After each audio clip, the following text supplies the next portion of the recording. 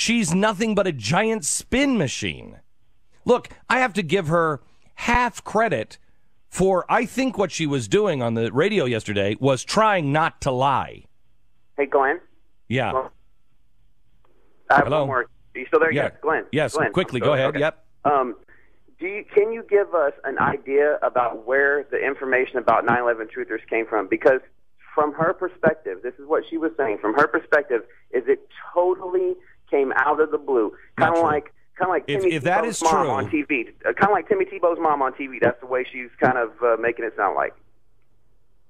Yeah, right. But like, First if, of all, if, if someone asked you uh, out of the blue, uh, "Did the Holocaust happen?" You might be surprised by the question, But you'd still but say you'd still yes. know the answer. Uh, it's not. I mean, it's not. The surprise is not going to throw you off on a basic yeah, question. The, surprise, the surprise is, did the Holocaust happen? Why, I, um, What, there are a lot I- of there's a lot redacted of- reports I- that I. Do you think if I ask for a freedom of it, that's ridiculous? the surprise comes into play if you're unsure or you're trying to hide your real feelings.